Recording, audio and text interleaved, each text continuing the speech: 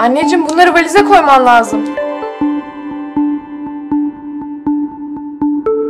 Sayın yolcular, uçuş güvenliğiniz için bal, reçel gibi yiyecek ve içeceklerle sıvı veya sıvıya yakın kıvamdaki jel, krem benzeri maddeleri havayolu firmanızın izni dahilinde valiz içinde uçak altı bagajına verelim. Kurallara dikkat ederek tedbirimizi seyahate çıkmadan önce alarak zaman kazanalım. Sıvı kısıtlamalarına ilişkin yeni güvenlik kuralları konusundaki işbirliğiniz için teşekkür ederiz. Daha güvenli bir uçuş için sıvılar uçak altına.